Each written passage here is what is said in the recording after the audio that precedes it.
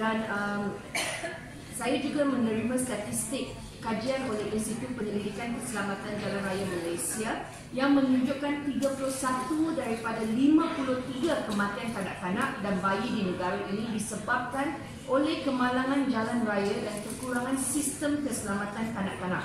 Jadi 58% kematian kanak-kanak boleh dielakkan atas jalan raya. Saya meminta supaya uh, semua ibu bapa yang menggunakan kereta dan mempunyai anak untuk pastikan mereka ada kasih.